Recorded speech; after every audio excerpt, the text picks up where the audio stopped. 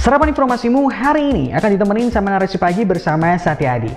Ada kabar nih dari pertemuan antara Presiden Jokowi dengan Elon Musk, kemudian update final Thomas Cup 2022. Gak ketinggalan kabar tentang wali kota Ambon yang ditangkap karena kasus korupsi dan koalisi tiga partai politik. Terakhir, kabar tentang penembakan di Amerika Serikat. Yuk, simak selengkapnya.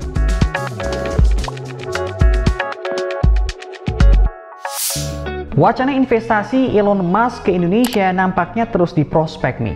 Setelah Luhut Binsar Panjaitan, kini giliran Presiden Jokowi yang menemui orang terkaya di dunia itu.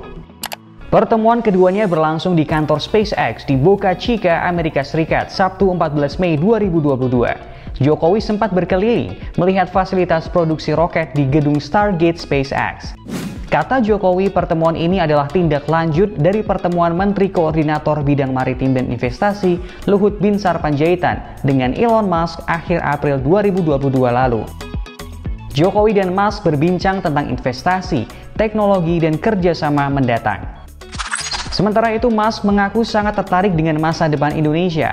Bos Tesla itu juga mengungkap tertarik bekerja sama dengan Indonesia.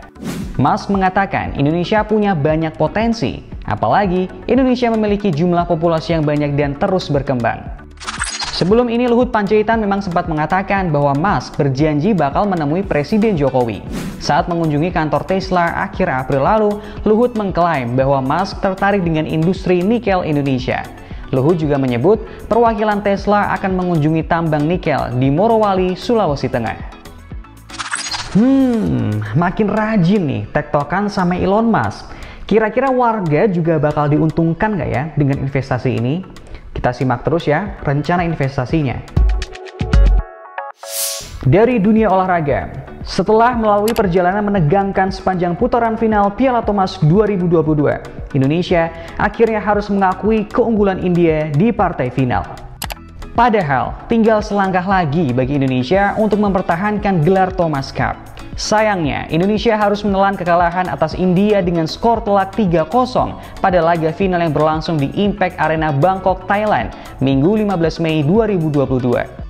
Di laga pembuka, Anthony Ginting diperhadapkan dengan Lakshya Sen. Setelah bertarung hingga rubber game, Ginting harus mengakui keunggulan Sen dengan skor 21-8, 17-21, dan 16-21. Sementara di partai kedua, pasangan ganda putra Muhammad Hasan Kevin Sanjaya Sukamulyo dipertemukan dengan pasangan Satwik Sairaj Ranki Reddy Chirag Seti. Di set pertama, Ahsan Kevin menutup set dengan kemenangan 21-18. Meski begitu, dalam dua game berikutnya, pasangan Indonesia harus takluk atas pasangan India dengan skor 21-23 dan 19-21. Hasil ini membuat tim Indonesia tertinggal 0-2 dari India. Pada partai penentu, Jonathan Christie dihadapkan dengan Kidambi Srikan. Namun, Jojo kalah dua game langsung dengan skor 21-15 dan 23-21. Dengan hasil ini, Jojo gagal menyelamatkan Indonesia dari kekalahan 0-3 dari India. Indonesia pun harus puas jadi runner-up untuk ketujuh kalinya di Piala Thomas dan menerima kemenangan India yang berhasil mengukir sejarah sebagai juara Piala Thomas untuk pertama kalinya the Thomas Cup. Kalau tim Piala Thomasnya jadi runner-up, timnas sepak bola Indonesia memastikan tiket menuju semifinal SEA Games 2021 Vietnam, sekaligus menjaga harapan buat mendapatkan medali emas. Pada pertandingan terakhir penyisian grup, timnas Indonesia U23 sukses mengalahkan Myanmar 3-1 Minggu 15 Mei 2022 di VA3 Stadium. Gol pertama disumbang oleh Egi Maulana Fikri yang berhasil mengecoh kiper Myanmar pada menit ke-6. Tak butuh waktu lama, di menit ke-10 Indonesia berhasil menambah gol yang disumbang oleh Witan Sulaiman. Di injury time babak pertama, Indonesia kembali mengisi gol yang dibukukan oleh Marcelino Ferdinand. Di babak kedua, gawang Indonesia akhirnya bobol pada menit ke-66 oleh Naing Tun Win. Hasil akhir 3-1 ini menjadi tiket bagi tim besutan Shin Taeyong untuk berlaga di semifinal SEA Games 2021 cabang olahraga sepak bola putra. Kalah dan menang itu biasa dalam dunia olahraga. Yang penting, semangat jangan sampai kendor. Kita dukung terus tim bulu tangkis Indonesia untuk bisa mencetak prestasi di kesempatan berikutnya. Dan untuk seluruh atlet Indonesia yang berlaga di SEA Games 2021, semangat terus ya, semoga bisa juara juga. Pemilu 2024 masih dua tahun lagi, tapi ada parpol yang udah sat-sat-sat-sat nih membentuk koalisi, yakni Partai Golkar, PAN, dan P3 yang membentuk koalisi Indonesia Bersatu. Partai Golongan Karya, Partai Amanat Nasional, dan Partai Persatuan Pembangunan udah sepakat nih membentuk koalisi yang bernama Koalisi Indonesia Bersatu yang dibentuk untuk pemilu tahun 2024. Komitmen koalisi ini diumumkan usai pertemuan tiga ketua umum parpol, yakni Ketua Umum Partai Golkar Erlangga Hartarto, Ketua Umum PAN Zulkifli Hasan, dan Ketua Umum P3 Suharso Mono Arfa pada Kamis 12 Mei 2022 pekan lalu. Ketumpan Zulkifli Hasan bilang, kesepakatan berkoalisi itu terjadi karena kesamaan visi, yakni menyatukan Indonesia dan mengakhiri perpecahan yang sempat terjadi pada pemilu-pemilu sebelumnya. Sementara Ketum Partai Golkar Erlangga Hartarto yang memprakarsai koalisi ini bilang, koalisi Indonesia Bersatu nantinya nggak cuma setingkat pilpres, tapi juga hingga pilkada. Nah, kalau alasan kenapa koalisi ini dibuat jauh-jauh hari sebelum 2024, menurut Ketum P3 Suharso Mono Arfa, koalisi ini untuk memperkuat kebersamaan tiga parpol yang terlibat. Langsung sat-sat ya, Bapak-Bapak.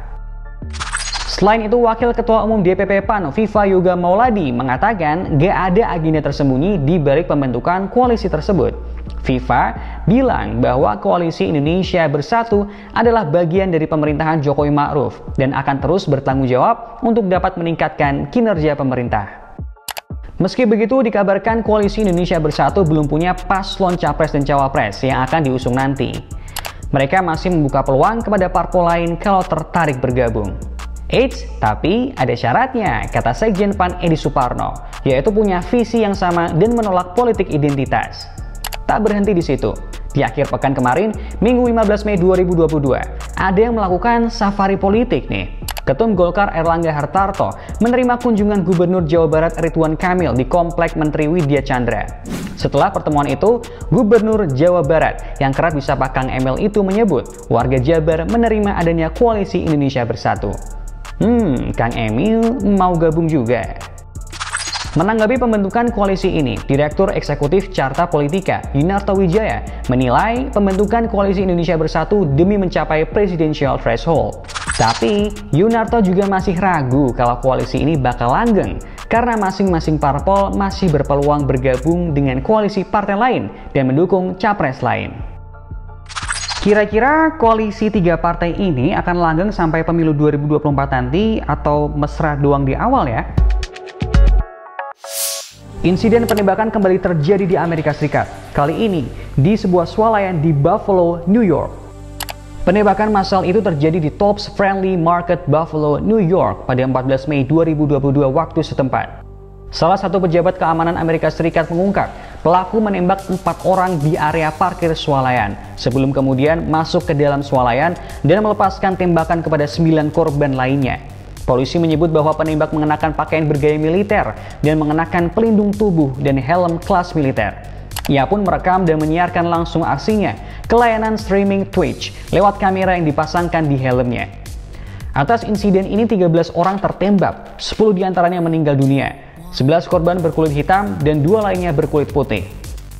Kepolisian Buffalo, New York menyebut pelaku merupakan seorang remaja berkulit putih berusia 18 tahun. Pelaku diidentifikasi bernama Peyton Gendron, berasal dari Conklin, New York, sekitar 5 km dari pusat kota Buffalo. Pihak berwenang bilang bahwa insiden ini merupakan kejahatan kebencian dan ekstremisme kekerasan bermotif rasial. Merespons hal ini, Wali Kota Buffalo Brian Brown menyebut ini merupakan mimpi buruk yang dihadapi komunitas mana pun. Peyton pun akan didakwa di pengadilan atas tuduhan pembunuhan tingkat pertama dan diperintahkan untuk ditahan tanpa jaminan. Penembakan bermotif rasial menambah panjang daftar kekerasan akibat longgarnya kepemilikan senjata api di Amerika Serikat. Sebelumnya, tiga wanita Korea ditembak oleh pria bersenjata pada 12 Mei 2022 lalu di sebuah salon yang terletak di Koreatown di Dallas, Texas. Polisi mengatakan penembakan itu dilakukan oleh pria berkulit hitam Meski begitu, belum diketahui apa motif pelaku. Penegak hukum pun tidak mengesampingkan kemungkinan kalau insiden itu merupakan kejahatan rasial. Penembakan massal di Amerika Serikat terus berulang dan semakin marak akhir-akhir ini. Bagaimanapun juga, kekerasan rasial tak bisa dibenarkan. Wali Kota Ambon Richard Lohenapesi ditetapkan sebagai tersangka kasus korupsi. Eh, tapi sebelum ditangkap, Pak Walkot masih sempat ngemol dulu loh.